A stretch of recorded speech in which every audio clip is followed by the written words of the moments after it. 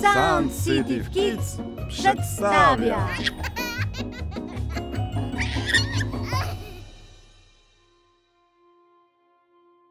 Jakob i Wilhelm Grimm Śnieżka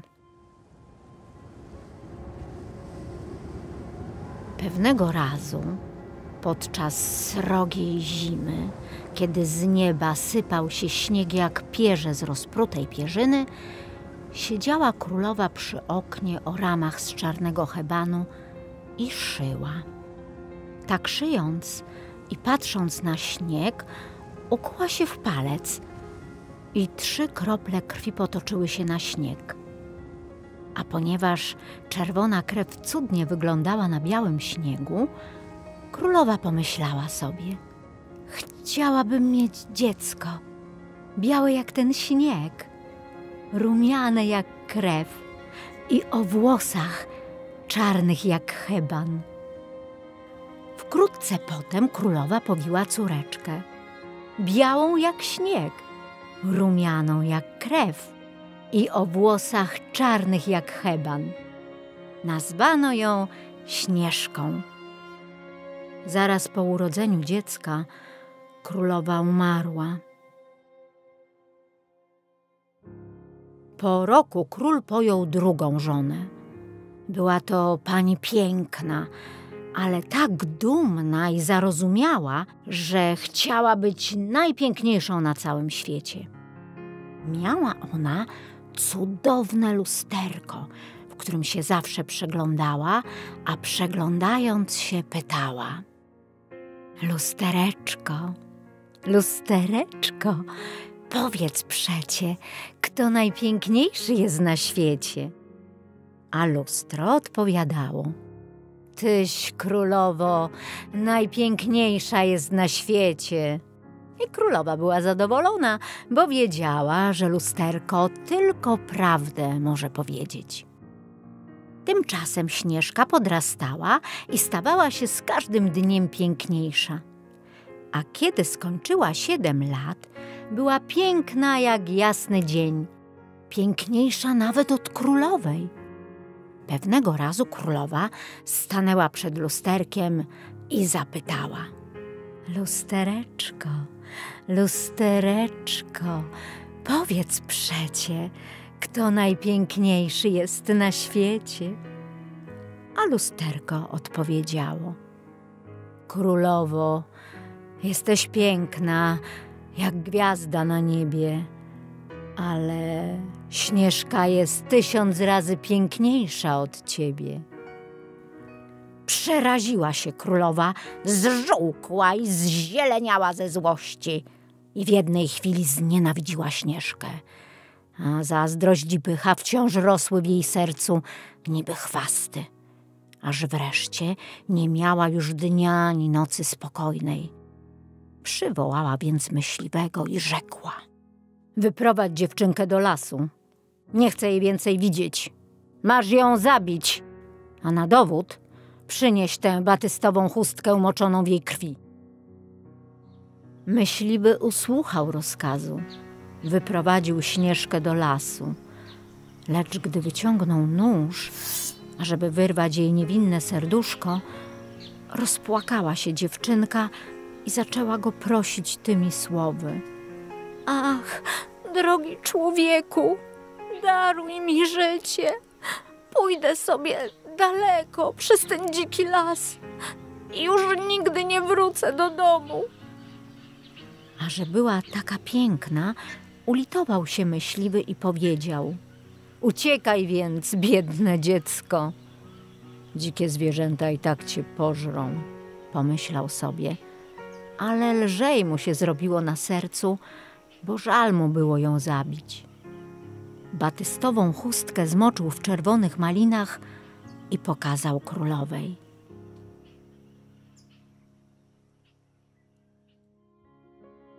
Tymczasem biedne dziecko wystraszone błąkało się po lesie, nie wiedząc co począć. Zaczęła biec i biegła tak po kamieniach i przez ciernie, a dzikie zwierzęta uchodziły jej z drogi, nie robiąc jej nic złego, aż zabrakło jej tchu, a był już wieczór. Wtem ujrzała maleńki domek i weszła do niego, chcąc odpocząć. W domku tym wszystko było maleńkie, ale tak czyste i miłe, że trudno opowiedzieć. Po środku stał stoliczek nakryty białą serwetką z siedmioma małymi miseczkami, a przy każdej miseczce leżała łyżeczka, nożyk i widelczyk, a na środku stało siedem kubeczków. Pod ścianami ustawionych było siedem łóżeczek, jedno przy drugim, starannie zaścielonych czyściutką pościelą. Ponieważ Śnieżka była bardzo głodna i spragniona, zjadła z każdej miseczki po odrobinie jarzynki i po kawałeczku chleba, a z każdego kubeczka upiła kropelkę wina, gdyż nie chciała jednemu zjeść wszystkiego. Potem chciała się położyć do jednego z łóżeczek, ale ani jedno nie było odpowiednie. Jedno za długie, drugie za krótkie – aż wreszcie, wypróbowawszy wszystkie, ułożyła się w siódmym, gdyż to jedno było w sam raz i oddawszy się w opiekę Bogu, zasnęła.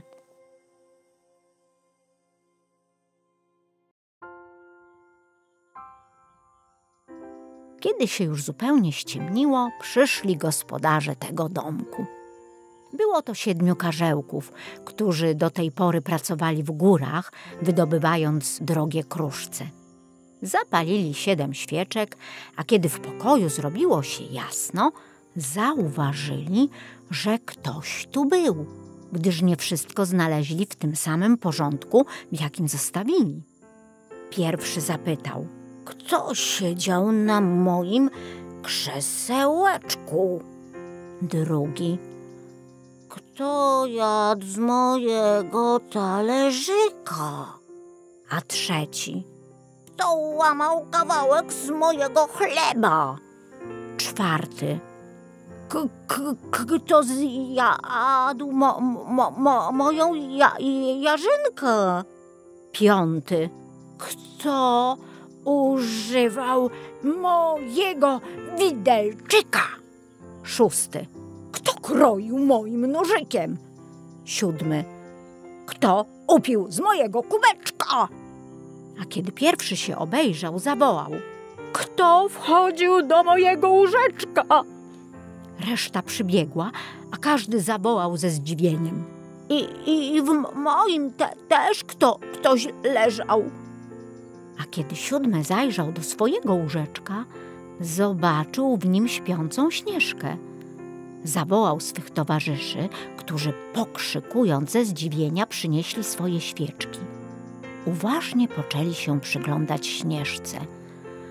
Ach, mój Boże! Ach, mój Boże!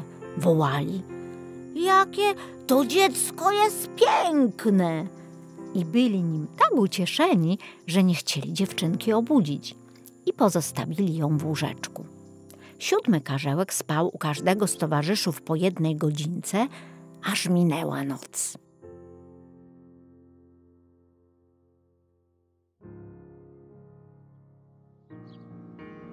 Kiedy następnego dnia Śnieżka obudziła się i ujrzała siedmiu karzełków, przestraszyła się bardzo. Ale oni byli bardzo życzliwi i zapytali: Jak się nazywasz? Nazywam się Śnieżka, odpowiedziała. W jaki sposób do, dostałaś się do, do naszego domku? pytały dalej karzełki. Opowiedziała im więc Śnieżka, jak to macocha kazała ją wyprowadzić do lasu i zabić. Jak myśliwy ulitował się nad nią, jak biegła cały dzień, aż wreszcie napotkała ten domek. A na to karzełki. Jeżeli zechcesz nam prowadzić gospodarstwo, y, gotować, prać, szyć, a wszystko utrzymywać w porządku, to możesz u nas pozostać, a niczego ci nie zabraknie. O tak, zawołał dziewczę z całego serca i pozostała u nich. Utrzymywała im dom w porządku. Od samego rana szły karzełki w góry wydobywać złoto i brylanty, a wieczorem wracały na kolację, którą przygotowywała Śnieżka. Cały dzień dziewczynka była sama w domu, a karzełki przed wyjściem zawsze jej mówiły: Strzeż się macochy, która może się dowiedzieć, gdzie jesteś. Pamiętaj, nie wpuszczaj nikogo. Królowa, obejrzawszy batystową chustkę, myślała, że Śnieżka nie żyje i że znowu jest najpiękniejsza na świecie. Podeszła do swojego lusterka i zapytała z uśmiechem: Lustereczko, lustereczko, powiedz przecie, kto najpiękniejszy jest na świecie? A lusterko odpowiedziało: Tyś piękna, królowo, jak gwiazdy na niebie, ale za lasami, ale za górami żyje śnieżka z karzełkami, tysiąc razy piękniejsza od ciebie. Zatrzęsła się ze złości królowa, gdyż wiedziała, że lusterko mówi prawdę. Zrozumiała, że ją myśliwy oszukał i że Śnieżka żyje. Znów nie mogła ze złości zaznać spokoju i myślała tylko o tym, jakby pasierbice pozbawić życia. Bo dopóki nie będzie najpiękniejszą kobietą w całym kraju, zazdrość jej nie opuści. Po długim namyśle zła macocha umalowała sobie twarz i przebrała się za starą handlarkę, tak, że nikt by jej nie poznał. W tym przebraniu poszła za las, za góry, gdzie mieszkała Śnieżka u siedmiu karzełków. Zapukała do drzwi i zawołała. Piękny mam towar i bardzo tani. Śnieżka wychyliła się z okienka i zawołała. Dzień dobry, miła kobieto. Co macie do sprzedania? Dobry towar, piękny towar, odpowiedziała rzekoma handlarka. Gorseciki jedwabne w różnych kolorach. I wyciągnęła jeden, który ze wszystkich kolorów jedwabiu był upleciony. Tę uczciwą kobietę mogę wpuścić, pomyślała Śnieżka, otworzyła drzwi i kupiła sobie ten wspaniały gorsecik. Zbliż się, dziecię, rzekła stara. Zbliż się, ja cię dobrze opaszę tym gorsecikiem. Śnieżka, nie przeczuwając nic złego, pozwoliła się opasać nowym gorsecikiem. Ale stara coraz mocniej i mocniej ciągnęła sznur, aż Śnieżce zabrakło tchu i padła martwa na ziemię. Już nie będziesz najpiękniejsza, zawołała macocha i wybiegła z domku. Niedługo potem pod wieczór siedmiu karzełków wróciło do domu. Jakaż była ich rozpacz, kiedy ujrzały swoją ulubioną śnieżkę leżącą martwą na ziemi. Uniosły ją z podłogi, a zauważywszy, że jest za mocno ściągnięta sznurem gorsecika, przecięły go na pół. A gdy gorsecik odpadł, dziewczynka zaczęła oddychać i ożyła. Kiedy się karzełki dowiedziały, co się stało, rzekły – Tą starą handlarką była na pewno zła królowa. Strzeż się i nie wpuszczaj nikogo, kiedy nas nie ma w domu. Zła kobieta, wróciwszy do zamku, zadowolona podeszła do lustra i zapytała: Lustereczko, lustereczko, powiedz przecie, kto najpiękniejszy jest na świecie? A lusterko odpowiedziało: Tyś piękna królowo jak gwiazdy na niebie, ale za lasami, ale za górami żyje śnieżka z karzełkami, tysiąc razy piękniejsza od ciebie. Kiedy to królowa usłyszała, cała krew spłynęła jej do serca ze złości, gdyż zrozumiała, że śnieżka ożyła. Ale teraz, rzekła, coś takiego wymyślę, że już nie ożyjesz. I czarodziejskimi sposobami, które jej były znane, zrobiła zatruty grzebień. Przybrała znów postać innej starej kobiety i tak przebrana poszła za lasy, za góry, gdzie mieszkała Śnieżka u siedmiu karzełków. Zapukała do drzwi i zawołała. Piękny mam towar i bardzo tani. Śnieżka wychyliła się i krzyknęła. Idź sobie dalej, kobieto, nie wpuszczę nikogo, Ale obejrzeć przecież możesz.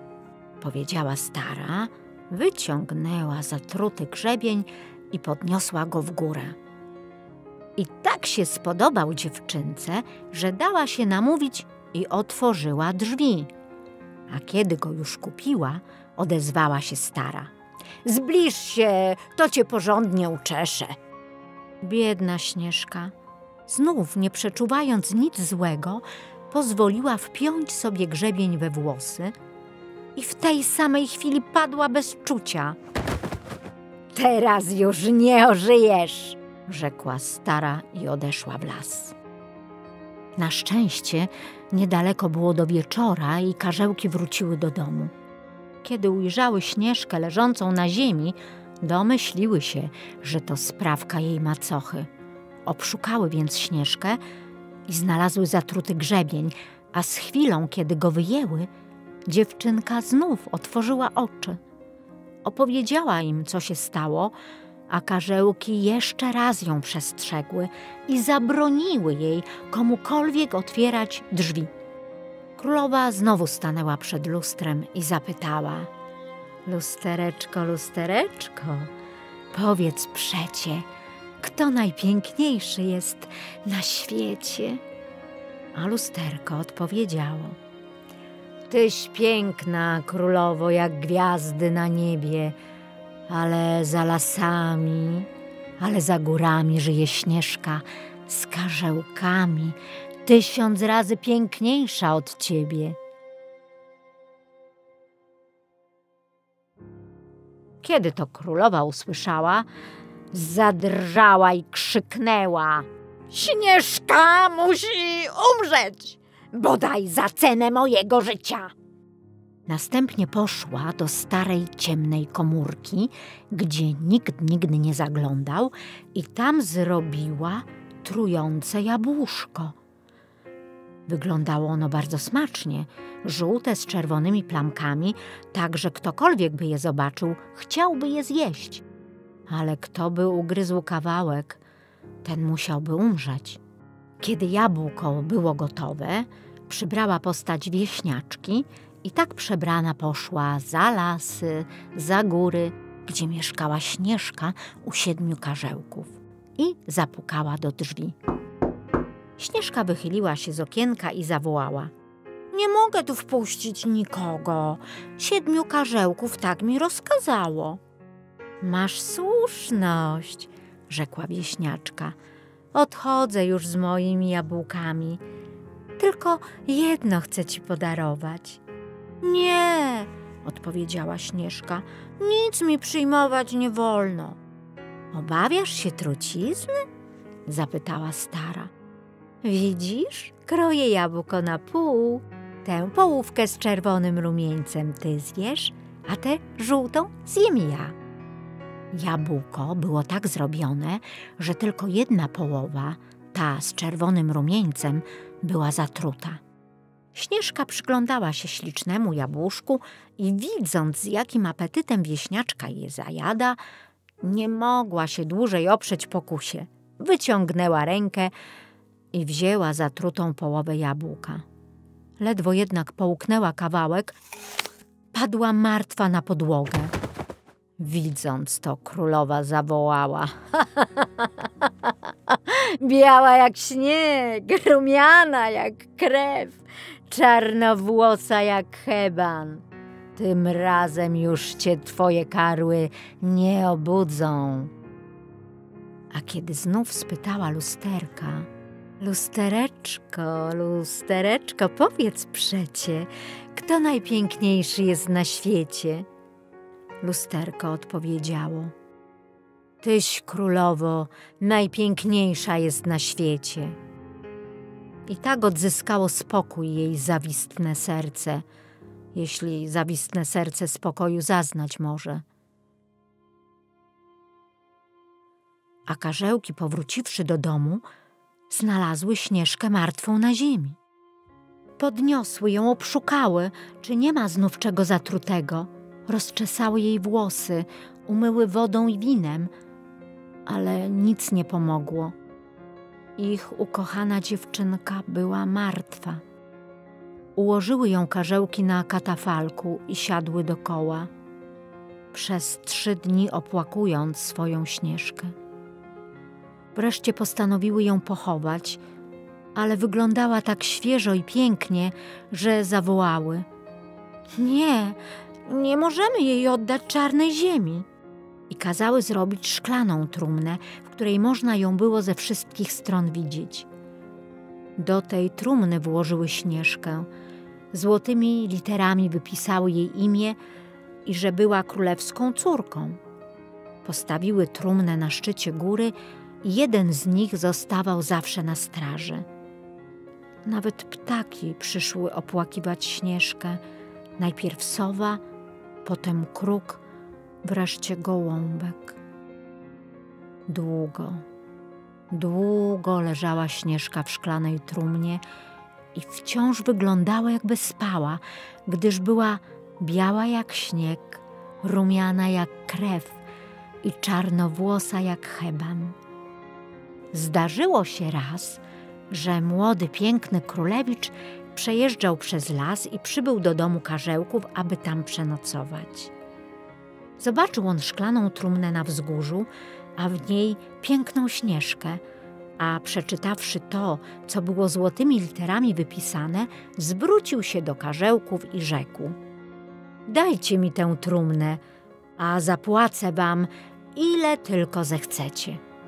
Ale karły odpowiedziały: Nie, nie, nie, nie oddamy jej, jej, jej za żadne, żadne skarby całego świata. Na to królewicz. Więc podarujcie mi ją, gdyż nie mógłbym teraz żyć bez widoku śnieżki. Będę ją czcić i uwielbiać jako najdroższą dla mnie istotę na świecie. Po tych słowach ulitowały się karzełki i oddały królewiczowi trumnę ze śpiącą w niej śnieżką. A ten kazał pachołkom nieść ją na ramionach przed sobą. I zdarzyło się wtedy, że jeden z pachołków potknął się, a przy tym wstrząśnięciu wypadł z ust śnieżki kawałek zatrutego jabłka, który jej utkwił w gardle. Po chwili dziewczę otworzyło oczy, uniosło wieko trumny i znów ożyło. O Boże, gdzież jestem? zawołała. A królewicz uradowany odpowiedział: Jesteś u mnie. I opowiedział jej, jak się to wszystko zdarzyło, kończąc. Kocham cię ponad wszystko na świecie. Chodź ze mną do zamku mojego ojca. Ty będziesz moją żoną. Śnieżka uradowana poszła z nim, a ślub ich odbył się z wielką wspaniałością. Na ten ślub została też zaproszona jej macocha, a kiedy włożyła wspaniałe szaty, stanęła przed lusterkiem i zapytała: Lustereczko, lustereczko, powiedz przecie, kto najpiękniejszy jest na świecie? Lusterko odpowiedziało: Tyś piękna królowo jak gwiazdy na niebie, lecz młodziutka królowa jest tysiąc razy piękniejsza od ciebie. Zła kobieta zdrętwiała ze zgrozy, zakleła głośno i postanowiła już wcale na ślub nie iść. Ale nie mogła usiedzieć w domu ze złości i ciekawości i chciała koniecznie zobaczyć młodą królową. Kiedy przyszła na wesele, poznała Śnieżkę i oniemiała ze strachu i przerażenia. Wtedy karzełki zamknęły ją w podziemnej celi, a nazajutrz odbyła się rozprawa sądowa i karzełki zadecydowały, że zła królowa wyjedzie na bezludną wyspę w towarzystwie swego lustra i będzie musiała radzić sobie sama. Koniec.